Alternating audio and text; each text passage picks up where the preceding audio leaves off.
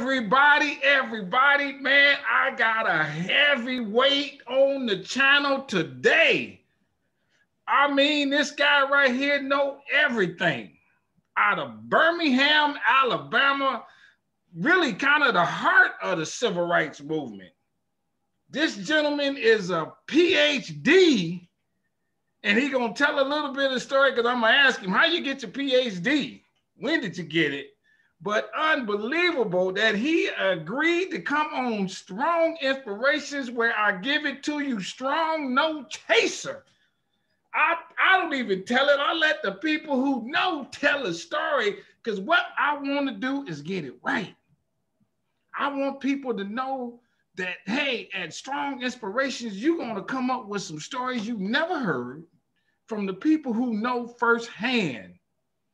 Hit the subscribe button, hit the like button, hit the notifications bell, and tell somebody about Strong Inspirations because we are here to stay. And this ain't just a Black History Month thing. This is 365 days. Uh, uh, and if it's a leap year, 366. I upload videos weekly. Now, you might know I got a movie out. Come on now, watch my movie. It's called Business in the Black The Rise of Black Business in America.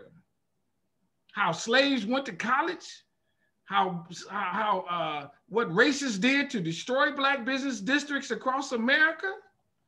But I got 150 or more Black owned businesses from slavery to 8, 1960.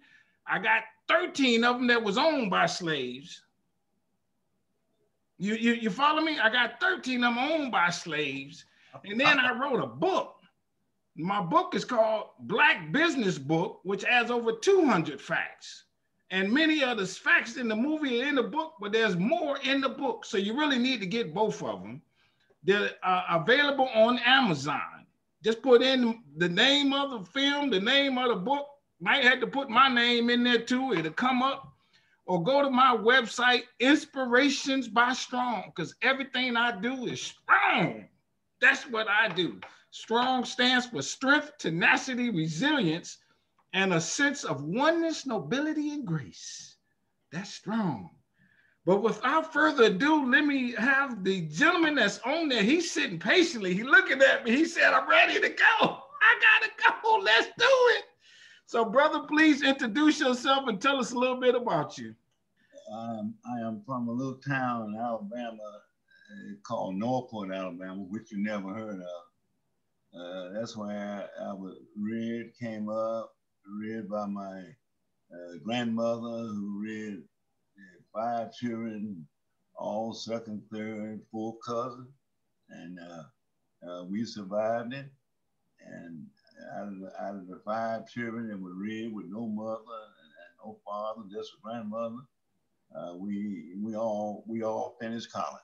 Uh, what, what did you say you get got your doctorate? How did you when did you get it, and how did you get the doc? How did you get your PhD? Oh yeah, I uh, when I when uh, when I when I came out when I came out of the service, uh, then I decided I wanted to go back to school, and I had uh, uh, six. I had uh, one. I had two years. I mean, I, I I, I had to go back to high school first, and and I spent my two years, and I, then I had to go to college, and I had to get out in two years, and I got out in two years. And, I got, I have a, a doc, doc, doctoral degree in, in business and, and business administration. Unbelievable. Now, now, if I may ask you, when is this? When did you get it? When, you know, what years are we talking about? Uh, I, I, got it in 1960 uh, for, for my doctoral degree. So, so you grew up in in Alabama, and it was there was racism all around you, right? Oh, we, you know, when you read in Alabama, racism is everywhere. You you don't you don't even know it's racism.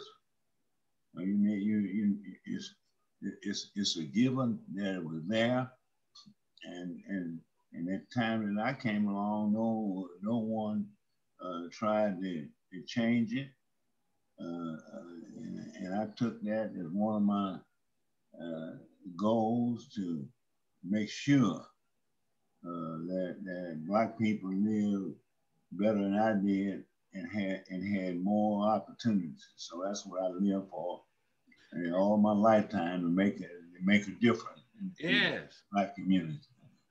Let me ask you this: When you're growing up and through high school and stuff, and with racism all around you, is every day? Are you fearful every day that maybe I, hopefully, I don't cross a white person and then they accuse me of something, or I'm in the wrong place at the wrong time just because I'm black? They had all, you had a had had a law called reckless eyeballing. If you're going down the streets and you and you look you look at a white woman more than a half a minute, uh, they might put you in jail. You never get accustomed to that. You, got to make it. You, you just got to make up your mind. Yeah, I'm gonna make it better for the people that follow me. Right. It's, it's not uh, how much uh, you earn; is how much you give. Right. Okay.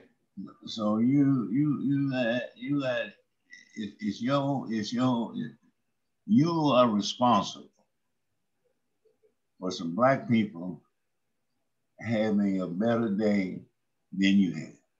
Did I do you um growing up like that? Do you I, I don't know if this is the right word, but I'm gonna use it anyway. Do you hate white people? No. Uh, I don't, I don't, I don't hate white people. Uh, I, I was taught by my grandmother, and you don't hate nobody. And, and, and, she said that you have to feel sorry for them. Oh, really? Right. See, if they if they knew better, they would they would they would do better. Did you ever have an occurrence where uh, some white people did some injustice to you through, uh, you know, your life and or through your educational pursuits? Well, you know, I, I, I, I'm, I was very fortunate. And then I, I you know, everybody have incidents. I mean, yes. I was very fortunate that none of them was serious. Uh, none, of, none, none of my the kids I was raised with, none of them been in jail.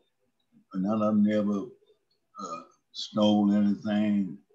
Uh, so uh, they they they lived a good life according to some other black people out there. You know, you you hear the story all day long, every day, and, and black people be put in jail for no reason, no nothing. So, so coming from a little town right outside of Tuscaloosa, Alabama, Northport, right? And black people, and white people did whatever they wanted to do with it, and they still do it some most of the time. Sure. They, and they did whatever whatever they wanted to do, and nobody said nothing. Nobody said nothing about it. And then you got and then you got so accustomed to it at a young age, and you thought they were doing the right thing. That's what they're supposed to do. Wow. That's that's, that's sad, but you, you know you you you know you didn't have any other option. You saw it all day long, every day, and the only thing that you could you could do is, is say, well, it's not going, it's not going, it's not going, it's not going to happen for me. You know, so I. Uh, but that, that's got to be that's got to mess with your head, knowing that you got all the ability to do what they're doing. Well, you you you I, I have I have I do this. If you if you black, uh, you you can't you can't afford to be equal. I mean, I own a marketing firm and we we compete with, with white people. and it's my it's, it's my job, my goal to make them look stupid. I got you. I, I don't care how many how many come along, and I'm more qualified than they are. I got you. I mean, I can't. I tell everybody they work for me that you can't afford to be equal. You black.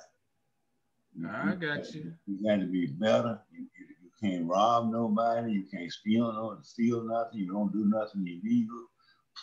But your mind is better than that, and you gonna and you gonna make more accomplishment than they did. Yes. Is that is that more pressure on you to feel that way that you got to work that much more harder to be better? No, that's not pressure. That's reality. Now, uh, as, as, knowing that, and I, guess I'm saying this hopefully, right? Uh, being in Birmingham, you were around with uh, A.G. Gaston. Oh, yeah. I, uh, I was uh, around A.G. Gaston.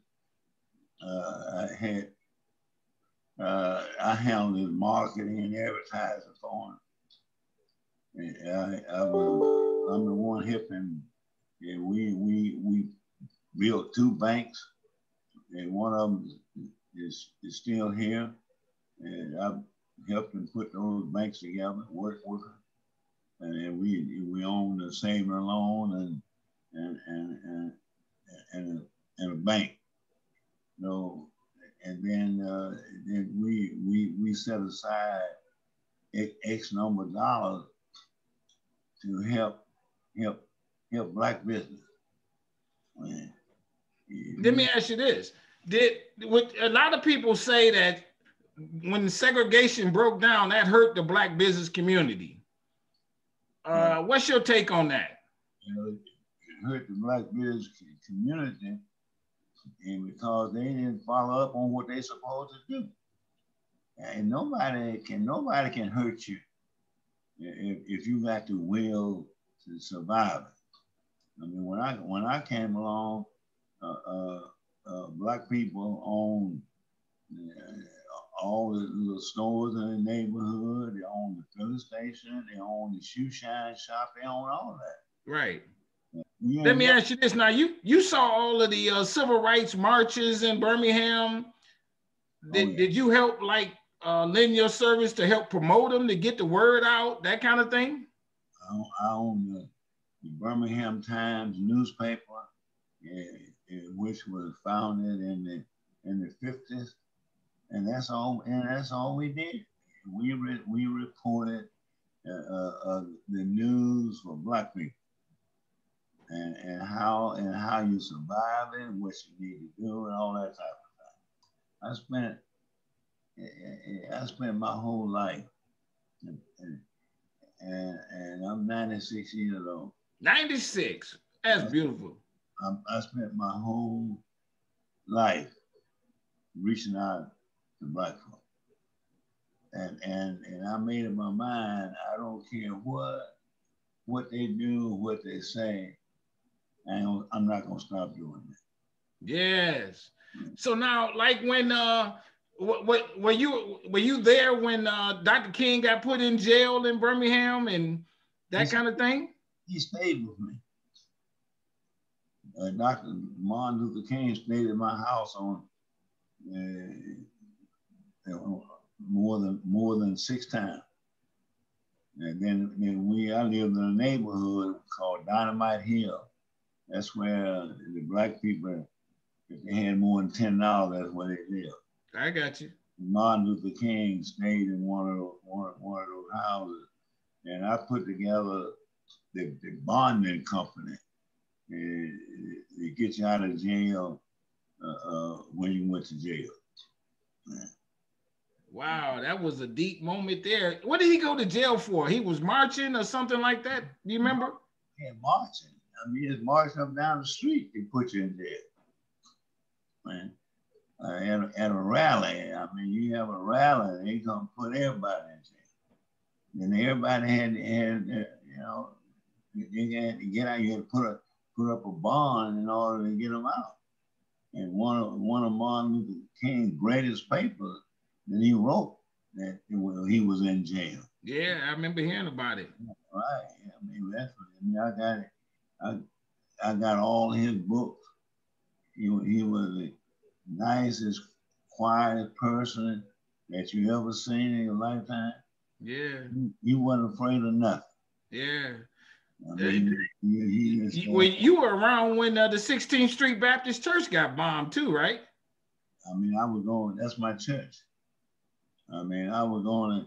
Yeah, I was going to be there that day at church, and but my son, oldest son, went to went to college. He went to Morehouse College in Atlanta, and I carried him over there. And and otherwise, I would I would have been in church that day.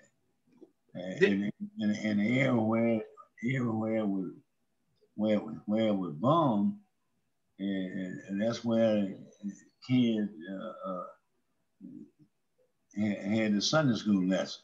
My son was in that in that in that in that class. He would have been down there where where, where the woman was if I if he had not gone to gone to college. Whoa. Wow. So now um throughout your career, you you've done marketing, but you've been on various boards and so on and so forth. Um doing your doing your business and and speaking up for people and spreading the word. Right. I mean, they they don't they don't they don't. Yeah, the Coca Cola company. I was the first black to hire. And when I went in, when I went in the door the next day, I campaigned for hiring black. You see, black people eh, eh, get under the impression that they want they, they want to say, I'm the I'm the only black. Ain't got but one that's me. You ever heard? Yeah. I mean, I mean, if you you know if you're the only black and you ain't and, and you're not campaigning for another black, then you shouldn't even, you shouldn't even have a job. Yeah, I like that. Yeah, well, some of that's probably because they're scared that if they, uh, you know, the black person to come in and take their job, and there's only so many slots. You hear them stories. I own a, a, a golf course. And, and I had some buddies had a meeting one day, and one of them said, I ain't going out that golf course to play and make Jesse Lewis rich. And my response was, you waited too late. Yeah, I live I live in a black neighborhood. I'm gonna die in a black neighborhood. Man, that's beautiful. Now, lately you've uh, you've written a book. Let me go back a little bit, just right quick here, before we come to a close. When you got your PhD, how did you celebrate? uh, I went, uh, I, I, I went home. Um, my wife was school teacher. If it wasn't for her, uh, I never would have had a PhD. I mean, uh, she, I, I, I finished the seventh grade. And my wife taught me how, how, how, how to read. Uh, then I then I taught myself how to read fast. Wow. Uh, you, you can't never. uh, You ain't gonna believe it. When I, I I'm going I'm going to law school when I get to be a hundred. Oh my God. That's the way we do it. Well, let me let me go let me go up a little bit. When you started your when you got the job at Coca-Cola, how did you celebrate? Uh, you know, I, I was uh, I, I was so glad to get get a job, you know, and uh, and what they paid me, I, I got I got I, I forgot to ask them what they gonna pay. I, I didn't care. yes. And, and and when I when I when I got my check, uh, it, it was I, I thought it was for about a year. I mean, I, I didn't know it for one month. Yeah. I had I had never I had never seen that much money in my life. Yes. Yes.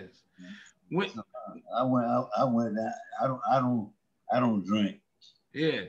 Yeah, but I went I went down and, and, and bought me uh, a, a, a big bottle of Johnnie Walker Red.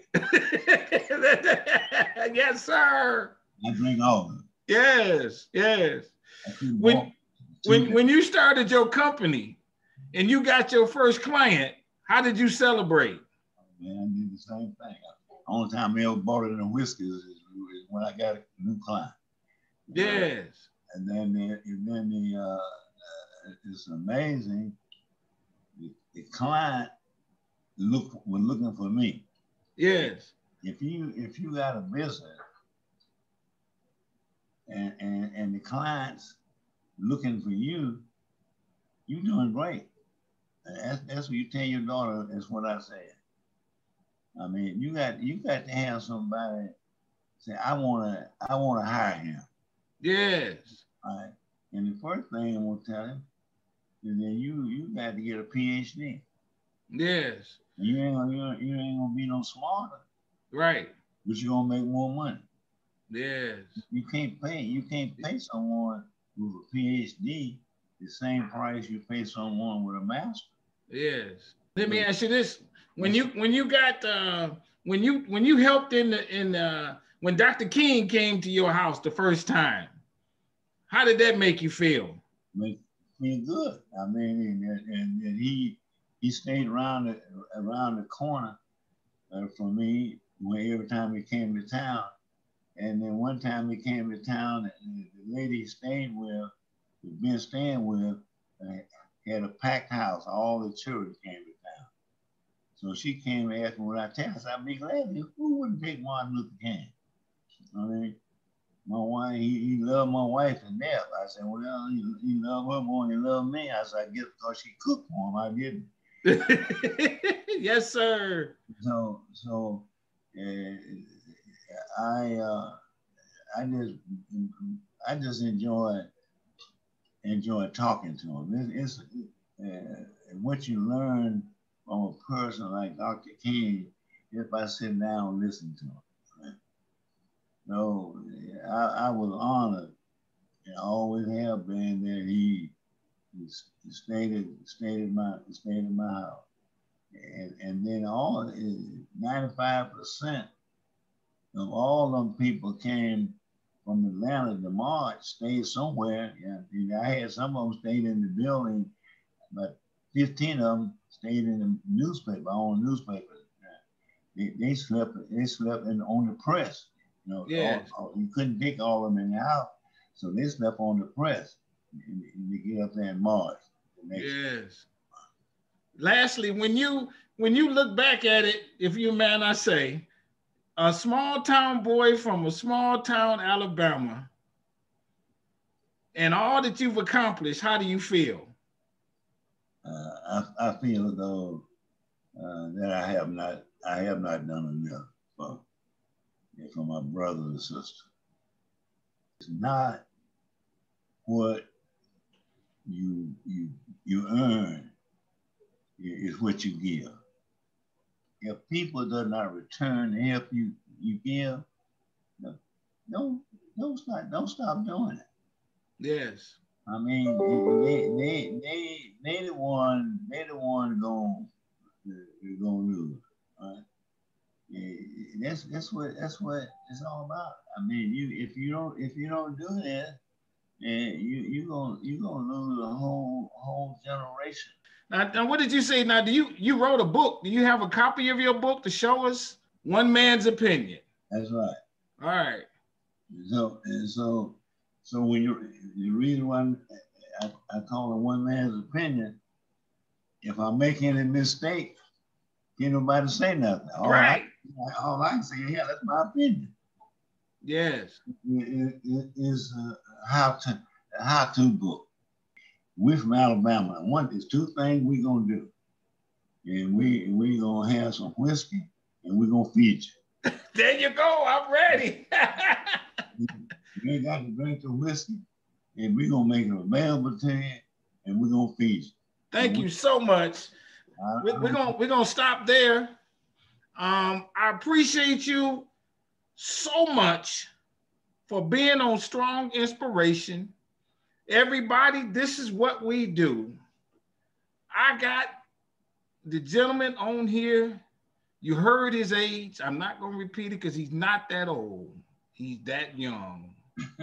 Everybody, we're going to get the copy of his book. I thank you so very much. Uh, stay strong, stay safe, stay on your grind. God has blessed you. He will continue to bless you. I will see you soon. Everybody, thank you for watching Strong Inspiration. Bye bye. Thank you. Thank you very much. Bye bye.